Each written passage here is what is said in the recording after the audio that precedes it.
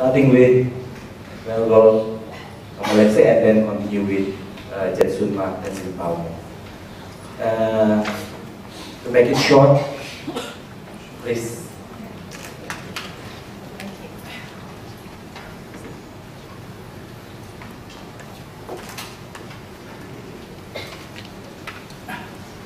Um, untuk para hadirin, tema hari ini adalah perenungan tentang belas kasih atau uh, compassion. Ya, marilah kita dengarkan uh, ceramah Dharma setelah sesi dari uh, kedua tokoh kita. Kita akan lanjutkan dengan tanya jawab. Ya, terima kasih. Hey, good morning. Selamat pagi. Uh, let's begin by generating a pure motivation for listening to the Dharma teachings. It's not easy to get Dharma teachings. In ancient India and in Tibet, sometimes they had no paper. They had to cut skin from their arm and write the lines of the Dharma on in blood on their own skin because no paper, right? So we're so fortunate these days. We have lots of paper. and lots of Dharma books sitting on the shelves in our homes and our libraries. But actually, to get even one line of teachings, Dharma teachings, is a very precious opportunity. So let's take refuge in the three jewels and generate a pure motivation for listening to the teachings. If you know the prayer, please sing along.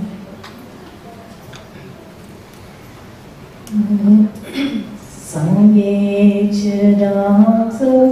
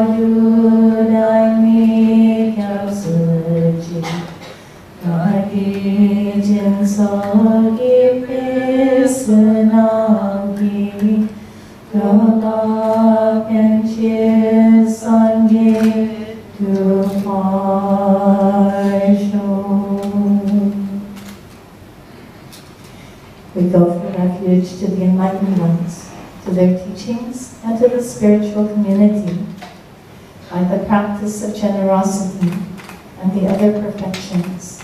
May we achieve the state of perfect awakening in order to liberate all living beings from suffering.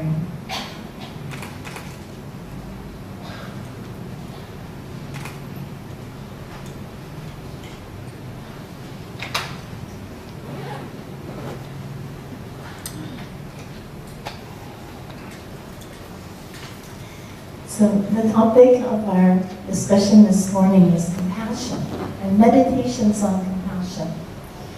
Now all world religions teach compassion, right? Allah, the merciful, the compassionate one, right? The Christians also talk about compassion. Um, the Hindus talk about compassion. And the Buddhists also talk about compassion. So this is a universal concept. The Buddha did not invent compassion.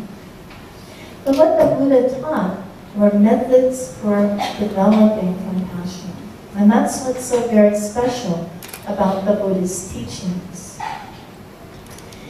Sometimes Christian nuns come to me and they say, I'm so happy to go and hear the Dharma teachings, Buddhist teachings. I'm so happy to see so many books coming out about compassion because we Christians talk a lot about compassion, but we don't really have a method for developing compassion. We don't know the steps uh, to develop this important quality. So they, the Catholics, the Christians, appreciate the Buddhist teachings because there they can learn systematically how to develop compassion.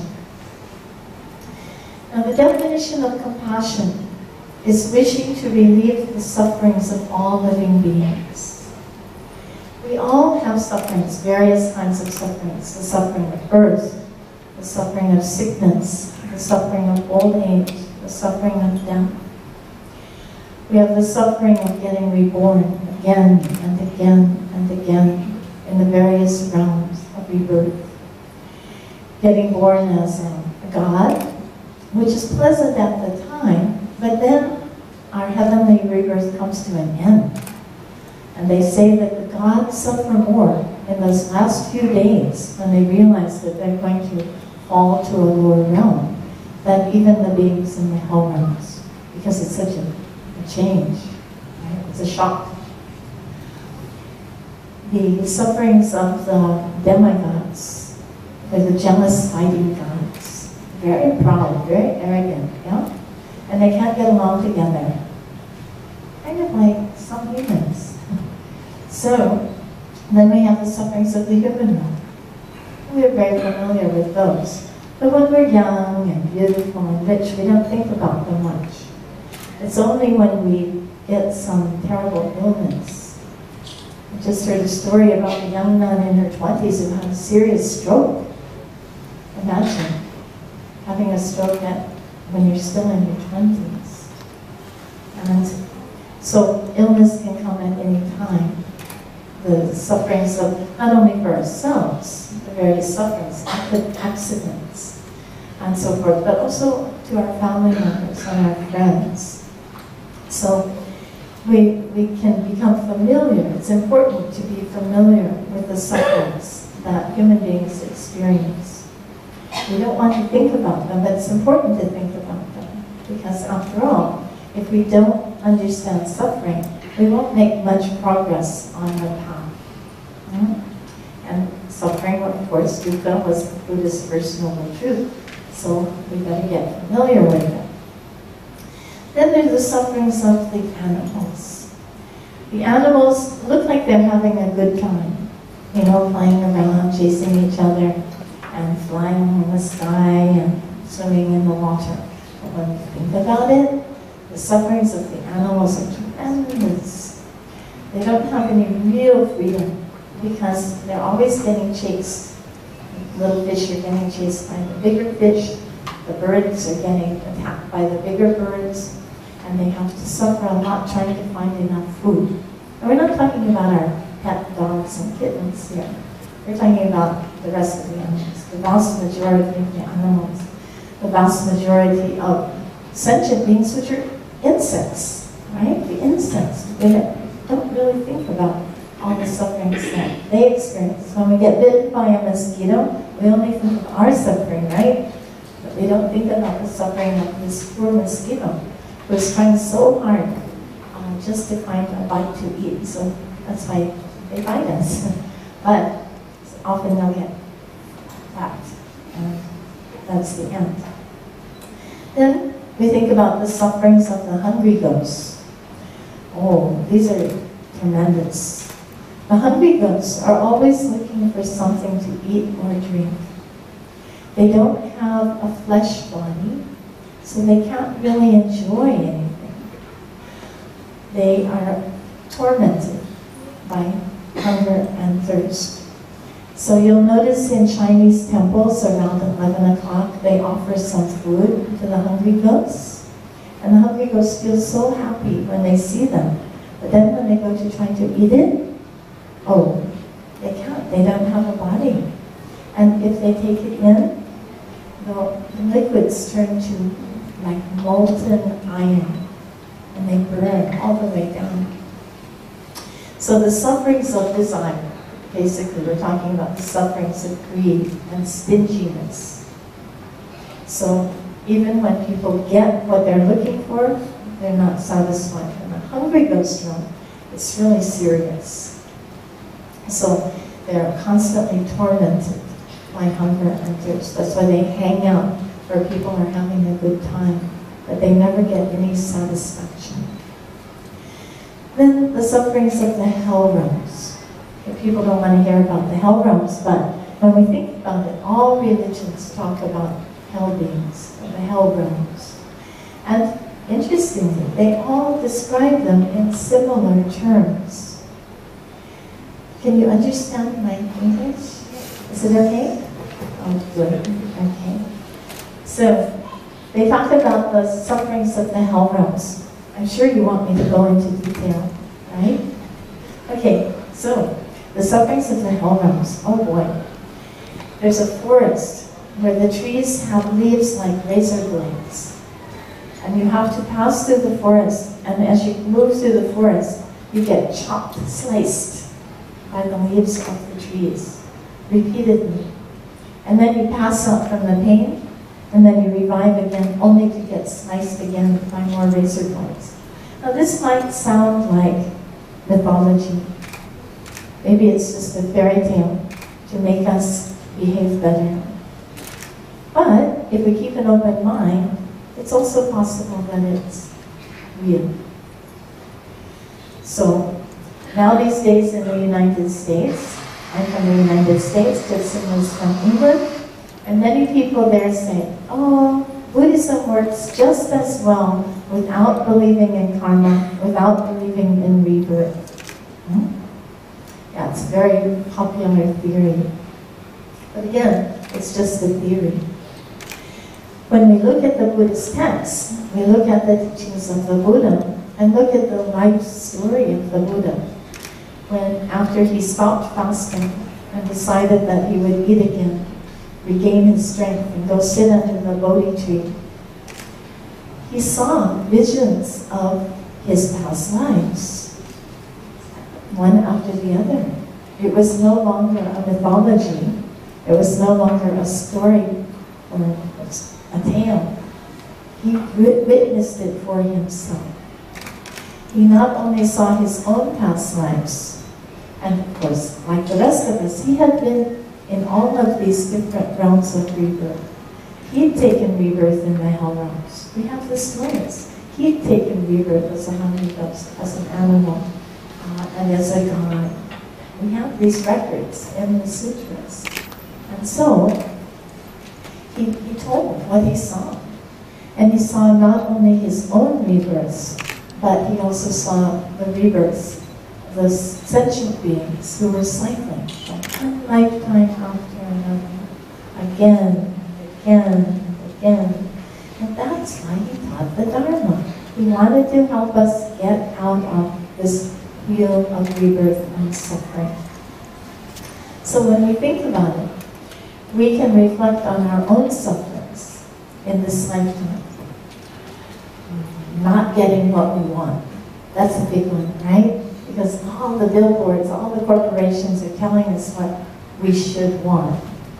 And then, if we're not too smart, we'll want it, which is the design of the corporations to get us want these things and buy these things. And when we don't get them, we suffer. Yeah? Then also, we get what we don't want. We slice our finger when we're making breakfast, we, get catch cold, we get stomach aches. Um, our friends sometimes are not kind to us, right? Uh, sometimes we don't get into the school we want. Sometimes we don't get the job we want. We don't get the motor scooter we want. I mean, one thing after another, the suffering of not getting what we want and getting what we don't want. So these are the patterns, and this is why meditation on compassion is so important. Now we, who I assume are the privileged, yeah, we've all had something to eat today, we'll probably have something to drink today, we're sitting in this beautiful monastery with the AC going, right? Why should we care about suffering? Why should we generate compassion? Well, let me tell you, after 15 years in India, and many trips to Bangladesh, Laos, Cambodia, Mongolia, and other countries. There's a lot of suffering in the world. Jetsunma lives in India also. Every day we see people who don't have enough to eat. It's about 40% of the world's population are not getting enough food. Of those 40%, the majority are children, women and children, who don't have enough to eat. Imagine, here in Indonesia, this is snack paradise. I mean, I haven't seen any hungry people here. Even the beggars are, know, doing pretty good. Uh, people come along in their SUVs and give them snacks, and yeah, I'm sure there are people who are suffering from hunger here, but I just haven't seen any because Indonesian people are very kind and they're very generous, and so from what I've seen, even the poor have enough to eat. But in India, oh, let me tell you, there are people who are so skinny, like stick, including the children. And the only way many of them can get enough food to eat is to work on the roads. So they're from very warm areas, but they have to go up to the Himalayas and work on the roads. And they have to take their children, right? So along the roadside, some of you who have been to India will know that uh, the children are playing alongside the road and they have to one little cloth to wear. So sad, yeah? So it's important for us to think about that. Let's think about the mothers who didn't have to give birth to one child after another and see their children die from hunger. So I always get this image of the road workers in India. Let's talk about water. Here in Indonesia, I have yet to be in a place where there wasn't running water. Now we had some people who were complaining about no hot water. I said, hot water? Uh, that's a luxury. We lived in India for so many years, and we're lucky to get water at all. Forget about running water. Forget about hot water. We're lucky to get water. We have to carry the bucket sometimes from a very long way to get even a drop of water. Then let's talk about climate change. Hmm. The bad news is that in many places, the temperatures are going to rise by 4 degrees. Okay, so right now in India, people are dropping dead because of the heat. In some places it's gone up to 48 degrees. Thousands of people dropping dead from the heat. If it goes up 4 more degrees, it would be 52 degrees. What does that mean for the people? Well, it's not just a matter of discomfort. Ooh, I feel so hot. No. When there's no, when the heat goes that high, the temperatures go that high, it means that there's no water. No water to drink and no water for the fields. If there's no water for the fields, that means there's no food. So this is the uncomfortable reality, what Al Gore called inconvenient truth that we all need to recognize. So as Buddhists, when we are asked by the Lord Buddha to develop loving kindness and compassion, we have to look at these realities. The Buddha did not shy away from suffering. He put it first on the agenda, the first noble truth of the. And therefore, as the Buddhist disciples, we have no choice. We cannot hide, close our eyes to the sufferings of the world. It's very important. We cannot progress on the path if we don't understand the basic nature of reality. The basic nature of reality is both a philosophical concept, which we can talk about, you know, emptiness and all that, it also means looking at the reality of the human condition. Our condition, right? While we're young, we're having fun, we're wasting time, gossiping, shopping, but then when we get old and sick and fall and have all these problems, life looks very different. So we would be wise. The wise person will look at suffering now develop compassion now. It's a great opportunity. If we don't look at compassion and at the suffering, we won't be able to develop compassion. If we don't develop compassion, we won't be able to achieve awakening.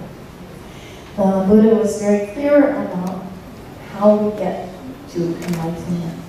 And he talked about wisdom and compassion as the two wings of the bird that we use to fly to enlightenment. And one is compassion. So, you see the logic? In order to get enlightened, we have to develop compassion. In order to develop compassion, we have to look at dukkha. That's the deal. That's how it goes, right? Um, there's no third option. so, okay, so even though it's an uncomfortable, inconvenient reality, it's very important that we meditate on compassion. So let's take a few minutes to meditate on the sufferings of the world. I've mentioned a few, maybe you can think of more. So we're going to literally look at the sufferings of sentient beings, just for a few minutes, but so that we learn how we do this, how we develop compassion. Are you in? Okay. So sit comfortably.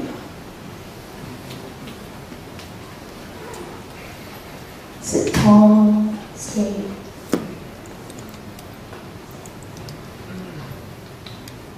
Check your posture.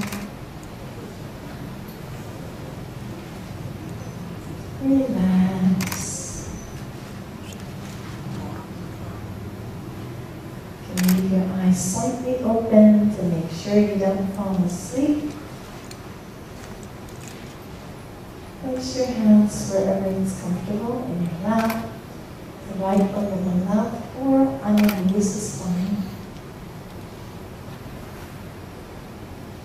And relax into the present moment.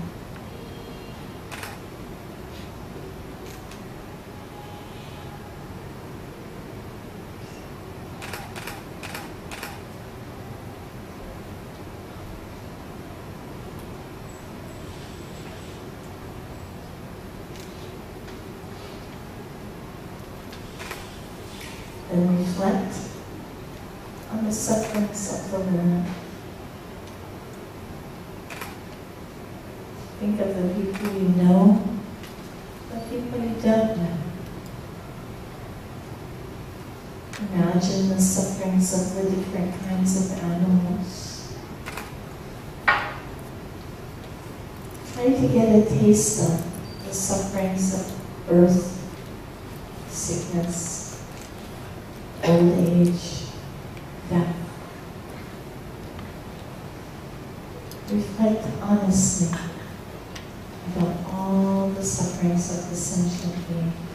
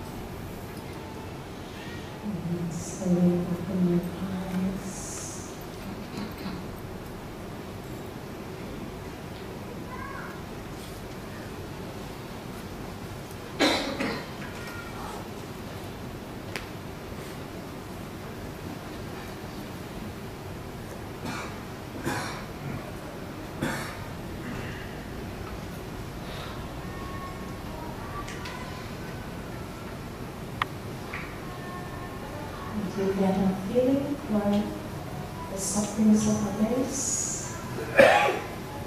It's not easy, right?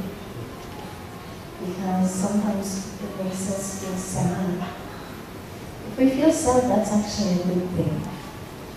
Because the sufferings of sentient beings are very sad. But having realized the sufferings of sentient beings, we then move on we don't stay in that suffering place. We imagine taking sufferings of all sentient beings, taking them away, relieving them. So that's what compassion means. May all beings be free from all these sufferings. And in addition, we generate loving kindness for all sentient beings. So these are two of the four Brahma Viharas that we all talk about. And this is how we practice them. Imagining all sentient beings free from suffering and then sending happiness to them. And Jetsunma is going to teach us more about the practice that helps us practice in just that way. Now, we also need to recognize that the root of all these problems is our attachment to self, what they call the self cherishing attitude. So the plus side of this meditation is very practical, very direct and immediate. If we can, little by little, remove our self-cherishing attitude, get rid of this habit of clinging to self, my benefit, my happiness, my career, my family, my kids, my parents, my job, if we can, begin to relax our attachment to self. Slowly get rid of the self-cherishing attitude and replace it with an attitude of cherishing others. Then we will be happy people. We'll be people that others want to be with. So this is part of the process, meditation on suffering, meditation on compassion and loving kindness, and at the same time, starting to free ourselves from the attachment to self. Can you do it? Can you try? Oh, good. Okay, great. Well, thank you for listening.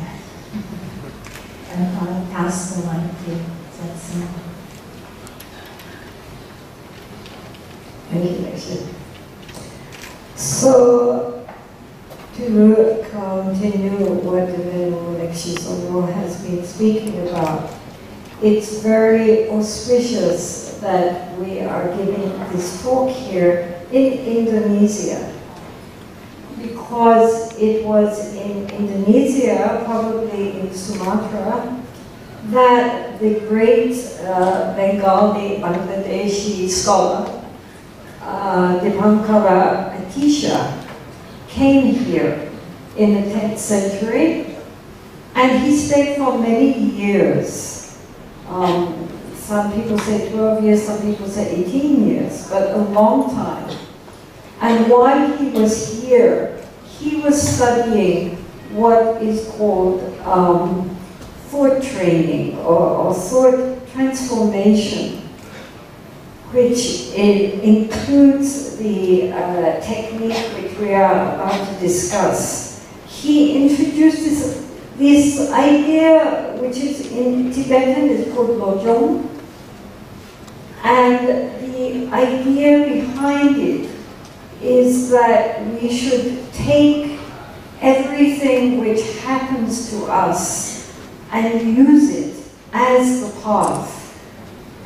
And especially difficulties, you know, we can practice very nicely when we're feeling healthy and we have enough to eat and everything's going well and you know people like us and you know we're feeling pretty good and then we can sit and, and do all our you know mindfulness practices and send out loving kindness and we feel pretty good.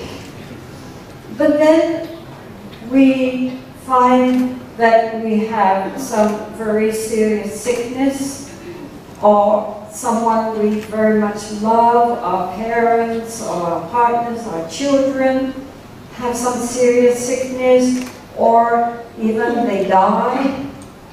And suddenly it's like the bottom has fallen out of our world.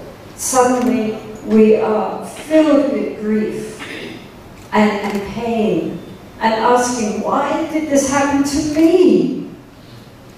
And suddenly Dharma goes out the window. Forget about sitting and having compassion for others. What about me? I'm suffering. And so these teachings on Lojong, on, on thought transformation, were methods for taking the really difficult things which happen to us in our life. Loss and people speaking badly of us, and uh, sickness, and all sorts of things which we don't want to happen. As Lekshe said, you know, the Buddha described dukkha as not only not getting what we want, but getting what we don't want. And instead of seeing these difficulties of life as an obstacle to our practice, we recognize them as the opportunity to practice, to really practice, to take all the difficulties that come to us in our life and use it on the path.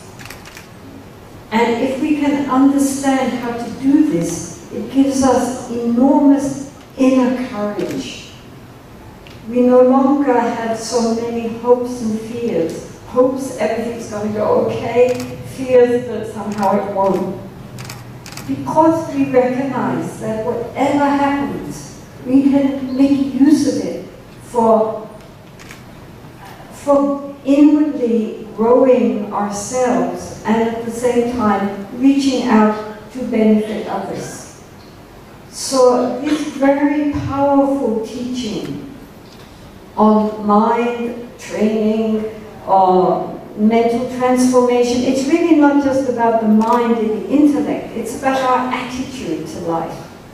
Imagining, like in the God realm, that everything, when it goes well, then that's a good thing. But in the end, we just end up being defenseless. When things go wrong, we, we are just spiritually very flabby. It's like if you lie around on the couch all day eating chocolates. Um, you know, that might seem like a nice thing to do, but then, you know, in the end, we, we just end up, um, you know, just getting overweight and, and flabby, and we need to go to the gym. You know, get on those machines and uh, give ourselves a good workout, right? In order to get strong muscles. So we need strong spiritual muscles. And for that, we need difficulties, obstacles, problems. Instead of seeing that as the excuse not to practice, we recognize that this is our great opportunity really and truly become practitioners. So this was uh, this method of looking at life was um, learned by uh, Palvinatisha when he came here to Indonesia. And he carried it back to India, and then he was invited to Tibet, and he spent the rest of his life uh, in Tibet and, and teaching about bodhicitta, about the aspiration for enlightenment, not just for ourselves, but for, in order to really be a benefit to all beings. And along with that, these teachings, which he handed down then to his students of how to take everything which life gives us and use it as our practice.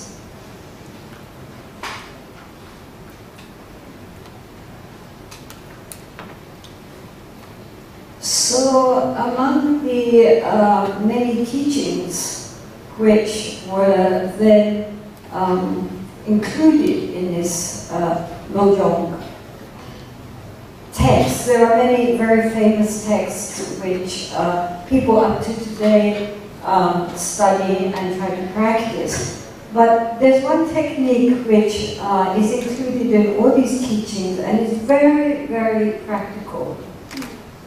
And that is what in Tibetan is called Tonglen. Tong means to send out, Len means to uh, accept in.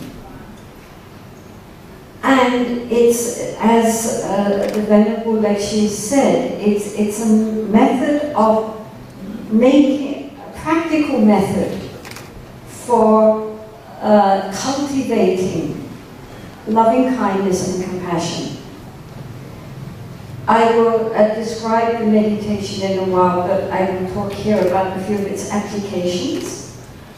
Um, for example, if we somebody we know is, is sick and we go to visit them, and we, we sit there feeling kind of useless we don't really know what to do. We feel very sorry, but we don't know how to help them. Well, one of the ways we can help them is just by sitting quietly. You don't have to sit in special posture, you know, breathing in and out, but just very relaxed, sitting there and doing this meditation for them. Or if we know someone for example, who is sick, somebody, especially at the beginning, while we're learning this, this process, somebody we care about. Because it, it has to come from the heart. So it's, you know, we need to practice first on someone that uh, a close relation or a, a dear friend or, or someone that we have a heart connection with who is suffering they could be suffering physically, mentally, psychologically. Maybe their business has just collapsed and they're deeply depressed and worried. Whatever the problem is. Somebody that we can think of, that we care about, who we can use as the object for this practice. And so then either we are, as I say, someone who is sick and we are visiting them, or just, just thinking of them, visualizing them in front of us. If we have a photo, that can be very helpful. We can put the photo in front of us and look at that photo and imagine that the person is there in front of us at this moment. The Buddha, when he spoke about loving kindness, said, just as a mother loves her child, her only child, so we must develop this feeling great love for all beings, not just the child. But we start by practicing on someone, like a mother with a child, someone that, that we genuinely feel for. And so the, the basic meditation, it has various applications, but here, what we do, imagine, right, this, this vase of roses here is now going to transform into somebody whom I know is at this moment suffering as I say, either physically, mentally, psychologically, psychologically, however, they are truly suffering at this point. And from my point of view, I would really love them to be relieved of their suffering. So, we visualize that person sitting or lying in front of us And with the in the breath, with our inhalation, we visualize that we are taking in all of their suffering in the form of dark light or, or smoke, whatever is meaningful for you, sort of like a vacuum cleaner. right? We're getting rid of all the dust and dirt, not only of their present situation, but the karma which caused that. Because what happens to us, whether our suffering or our happiness, is due to prior actions, either from this lifetime or past lifetime. At some point, all of us, in our endless rebirths, have done just about everything. Good, bad, and indifferent. We have sown zillions of seeds from our intentional actions of body, speech, and mind.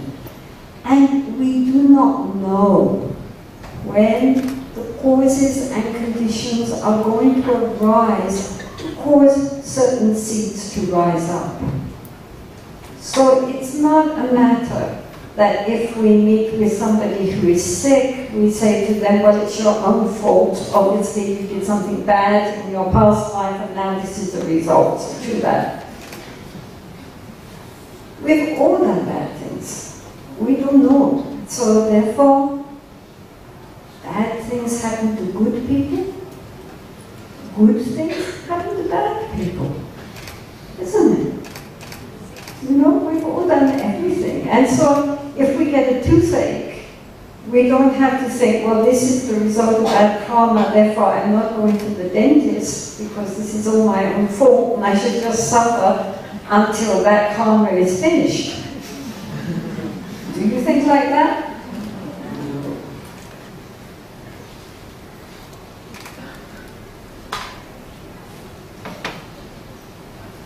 So likewise with others who are having sufferings, who are having problems. This is not the time to be judgmental. Who are we to be judgmental? It's a time for arousing compassion. And so therefore, when we think of someone who is suffering, we think of them, and with the in-breath, we imagine taking in all their suffering into ourselves in the form of dark light with the ingoing breath. And then this dark light comes down and it hits here in the center of our chest. Now, as the Venerable Lekshe mentioned, the obstacle for our compassion is what is called the self-cherishing mind. It's our selfish ego, which says, I'm really sorry you're suffering, but I'm glad it's not me. right? Many people, when we teach this practice, say, this is lovely, but it doesn't really work, does it? Because they're very afraid that if they take on the suffering of others, maybe they'll get it. And so our self-cherishing mind says, no, I don't want it. You know, I mean, I really want you to be well, but I don't want your sickness. Right? So this is very good practice because it really hits hard at that solid rock of our ego, which is exactly what is preventing us from recognizing our Buddha nature. We think that the ego is going to be our friend, but actually the ego is the, our problem, the big problem. So this practice directly hits at this. And the more it hurts, the more you're doing the practice right. Okay? If you don't feel it at all, you're probably either an 8th level bodhisattva or you're not really doing it properly. So this is again why we talk about a mother. Um, how much time do we have? Okay, so very quickly, I will give an, an, uh, an example. Um, when, when I was a little girl, when I was about seven or eight years old in London, um, I, I caught fire. Uh, my, my nylon dress hit against uh, um, an electric fire, and so I was all up in flames. And at that time, my mother, she was very ill. She had kidney stones, so she was also in a lot of pain. But fortunately, she was ill in her bedroom. Otherwise, I wouldn't be here talking to you because she would have been at work. So then I, I ran up the stairs and I was screaming, of course, and I ran into the room. And then she saw me and, and put me out. She wrapped me in, in a sheet. And um, meantime, I, I went, uh, I separated from the body and I was up on the ceiling looking down at my little body down there on the bed. And uh, all these beings of light were saying, come with us, come with us. And I thought, oh good, I'm gonna die. Well, that would be interesting. Let's see what happens. I mean, I definitely wanted to go with these beings of light. I did not want to go back down into my burnt out little body. But meantime, the neighbors had heard the screams, so they started coming in, and then I was back in my body again. And uh, the next thing I remember was being in hospital, and the doctors were saying to me, You're a very brave little girl. You must be in tremendous pain. My whole back was burned right off. My mother said it was one big blister. And we know, even if you burn just the tip of the finger, how painful it is. My whole back was burned off. And so the doctor said, you know, you must be in tremendous pain. And I said, no, there's no pain. They kind of looked at me and thought, oh, yeah, she's a little girl, she doesn't understand the question. So I stayed in hospital for many, many weeks, and, and then, you know, I, I was healed, I had no scars. Um, and there was no pain. They all thought I was just being very, very brave, very stoic. Years, I did, I was too small to think about it. Mm. I didn't recognize that there was anything unusual. But many, many years later, when I grew up, I remembered that. And I said to my mother, you know, it's very strange, all that time in hospital and I, I didn't feel anything. And she said that when I was lying there on the bed unconscious, because I was up on the ceiling, she had prayed and said, please don't let her die. And please don't let her suffer. She's too young to suffer. Give all her suffering to me. I will take her suffering. And she would have. Even though she herself was in such pain with kidney stones, if she could have taken my pain too, she would have been so happy if I could have been relieved of that pain. And so, because her, her prayer was so heartfelt and so true, I think for that reason, whoever took compassion and uh, relieved me of the pain, and, and of course did not give it to my mother also. But it's that level of genuinely rejoicing if we could take the suffering of others that we are aiming for. Okay? So all of you who are mothers, you know, if your child was sick, you would be so happy if you could take their pain onto yourself and relieve them of that suffering. So this is why the Buddha said, just as a mother